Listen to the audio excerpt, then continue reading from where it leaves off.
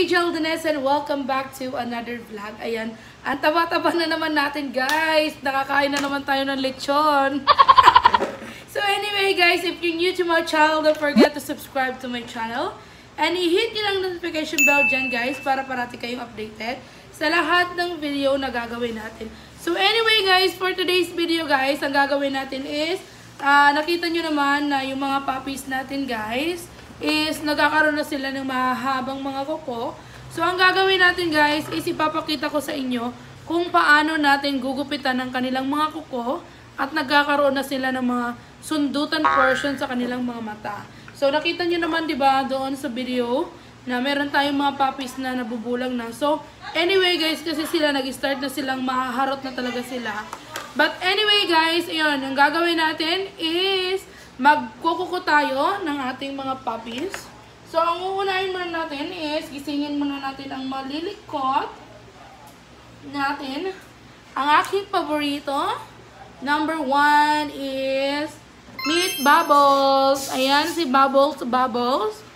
What? Hi everyone! So, ayan guys, ang gagawin natin is, uh, kukukuhan natin si Bubbles. Ayan. Lapit po kayo dito sa amin. Yan. Wait lang, Bubbles. Huwag maik... Yan. Mm-mm. Ayan. Pakita natin, guys, kung paano natin kukukuhan. Hmm? Hmm? Kukuhan natin si Bubbles. Wait lang. Hindi ata makita. So, ibababa natin onti ang ating camera. Ayan. So, hello! Pasensya na kayo dyan sa mga channers. Yan. I will so, bite you, Tita. Dahan-dahan lang guys. Dito lang sa mga tip ng ano nila para hindi masaktan. Ang ating tapil. So, ayan. Yung mga dulo-dulo lang guys, yung tinatanggal ko. Yung parang mga white dyan. Parang, in, Opo. Mm. So, dito sa may mga ano nila guys, yung mga areko-areko. Dito naman. Ayan. So, yung mga paapa nila dyan, importante din yan. Wait lang. Opo! Ha? Di, okay lang naman yung washing. Yan. Okay lang yun, kuya nun nun. Ayan oh, nangangat-ngat na. Mm -mm. Wag lang yung, yung ano, yung sounds. Yan. So, ayan, aning bubbles namin, guys. Hindi ko masyadong sinagot ng Tita B. Mm. Eto, guys, next is ating si One Eye. Yan. So, importante talaga dito, guys, yung pinaka dito sa dulo. Yung pinaka front nila. Oh, no, Tita.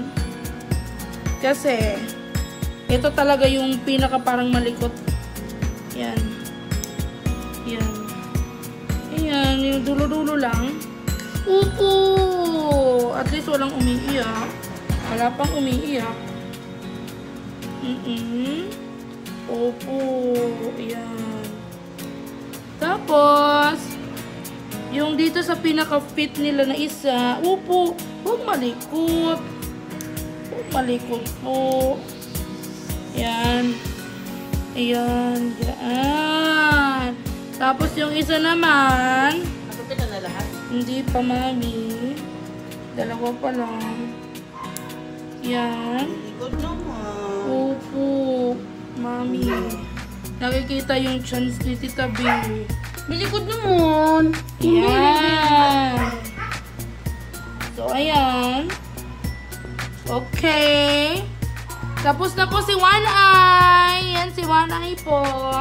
Mm, mm.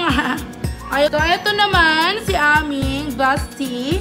Nag-iisang lalaki at nag-iisa rin siyang bulag. Yan. Opo. Yan. So, kailangan natin to. Baka masundot yung mga mata-mata. Opo. Ayan si bulag. Natutulog naman yung Tito Bear. Kailangan hindi matulis ang kamay, ang kuko. Upo, upo. Mm. Kailangan gentle, gentle, gentle lang po. Yan. Yan. So, ito siya guys. Ewan ko kung makakita pa to hindi na. Kasi, pero ang la- malakas po siya. Aray ko, wait lang po, wait lang. Wait lang po, wait lang, wait lang. Unti na lang po. Oo. Unti na lang.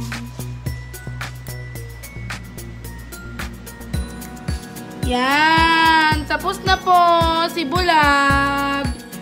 Tapos na po ang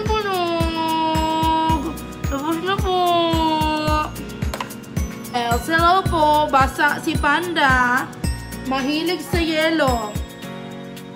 Ayan. Tingnan nyo yung mga ano niya dyan po. Mga daliri niya basa dahil naglaro ng yelo. Ang ating panda. Panda, panda, panda. Pero actually po, hindi talaga panda. May mga sariling version lang ako na sinasabi sa kanila kung ano yung mga name nila. Pero, hindi po talaga ito siya panda. Mukha lang po siyang panda.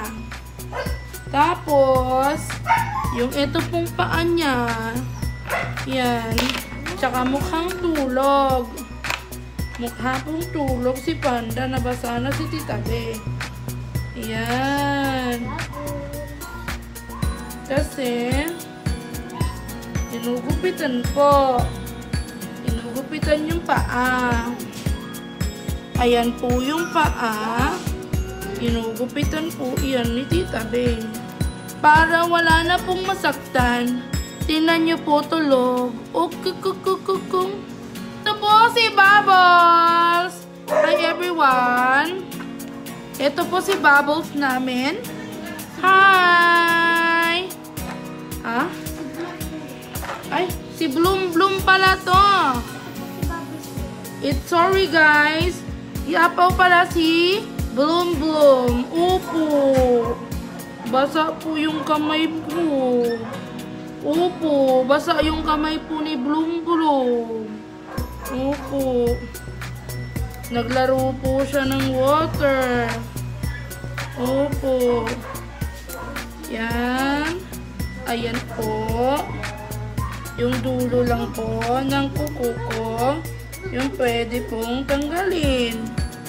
Bawal po yung iba po. Kasi nasasaktan po ako. Opo. Si na, natulog na po. Ayan, natulog na. Tulog po is life. Ayan po. Tulog po is life. Kaya po, masarap talaga magpa-manicure. Opo. Tutulog na, adoy. Ang tulog is life po. Ayan na. Tapos na po yung paa niya. Tapos na po, tulog is life. Po. Hi guys! Nandito po si Arja. Yan po si Arja. Kamukha po ng daddy niya. Si Arja. Si tulog girl. Yan, basa rin yung paa kasi mahilig po siyang yun. Maglaro ng ice cube. Opo. Tingin ako ng kuko. Opo, ayan. Next po, ang haba ng kuko. Ayan. Ayan. Tulog is life. Malapit na po matapos ang aming seremonya. Ayan. Malapit na po. Wait lang. Isa na lang. Ayan. Yay! Tapos na po. Tapos na po. Guys, tapos na yung ating pagkukulit. So, papakita ko sa inyo yung kanilang kulungan. Ayan. So, nandyan sila guys. Ayan. Mga tulog. Ito yung yellow na yellow eh, ice cube na nilalaro nila. So, ayan po. Nakapaglaro na sila. Yung iba tulog-tulog. So, anyway guys, thank you so much for watching my video. And I hope you subscribe po guys sa ating little video na ginawa for today. So ayan po, abang-abang tayo kung ano pa po yung iba-ibang video na i-upload natin regarding sa ating mga husky puppies or everything na ating gagawin. So yung mommy nila is nag-iingay na. So anyway guys, if you're new to my channel, don't forget to subscribe to my channel guys. And i-hit nyo na ang notification bell guys para parati kayong updated sa lahat ng video na ginagawa namin. So anyway guys, thank you so much. Bye!